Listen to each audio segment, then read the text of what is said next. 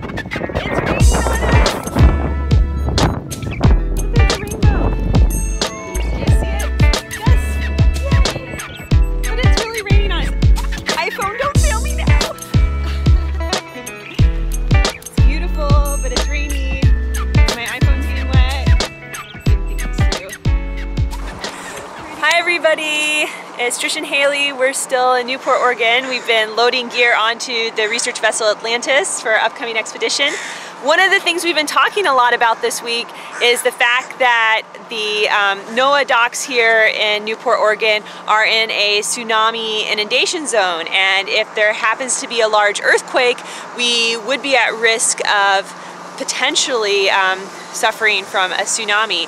So all of Oregon coastline is part of the Cascadian subduction zone and they do have historically very large earthquakes and there's a lot of um, geological evidence of very large tsunamis that have hit the region. So Haley, if there's a large earthquake, what are we supposed to do? Well, if there's a large earthquake and it's one of those that are going to be associated with the subduction zone, you would expect for it to last several minutes.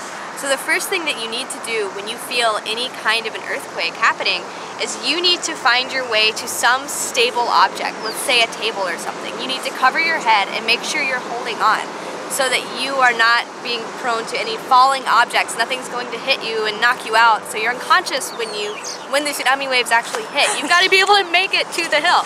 So we've got this nice diagram behind us and they say the very first step is to drop, cover, and hold on during the shaking. It can last several minutes, but once that's over, you need to make your way to the higher ground. So they have these signs all over the coastline here. They look like that. Um, and we're gonna follow these signs to get us to higher ground. Yeah, so we were talking to some of the scientists here and they said that if a large earthquake hits the subduction zone nearby, you'd have about 20 or 30 minutes. So coming from the ship, we're about a maybe five, seven minute walk from the ship right now and we're now gonna make the trek up to the rest of the way to the high ground. So, all right, Haley, why don't you lead the way? All right.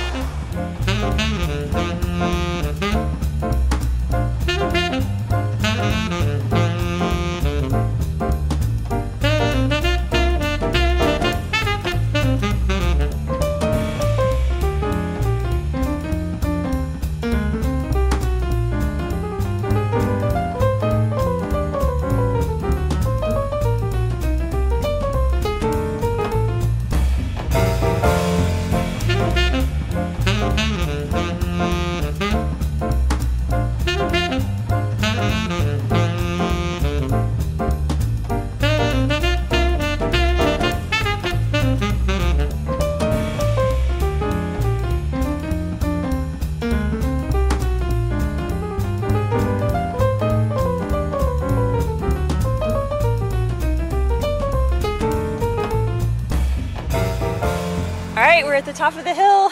We made it. We are. So we're at an elevation of 85 feet right now, where in which we'll be safe from the tsunami waves. But something that Trish and I were really surprised to read is that we have to stay here for 24 hours. Yeah.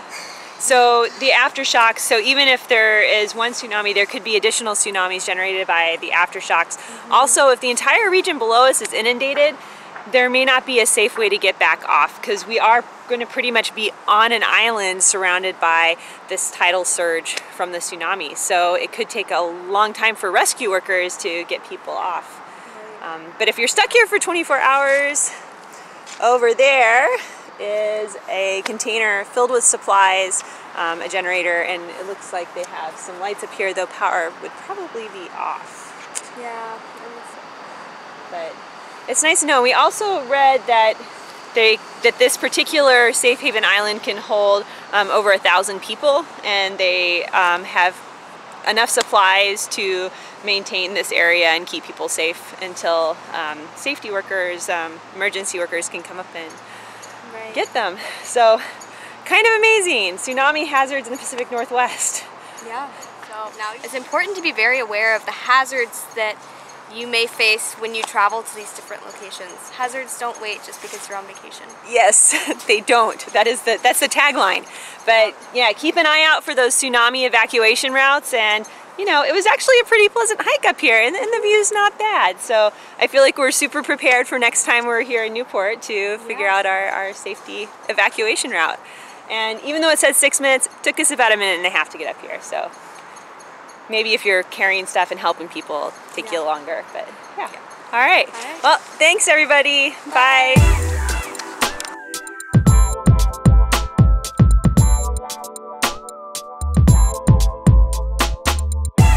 Okay, lesson learned.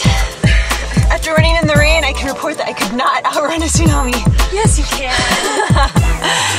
It is, it's raining now was really pretty for like three minutes. Totally worth it. Yeah, the rainbow's gone now though.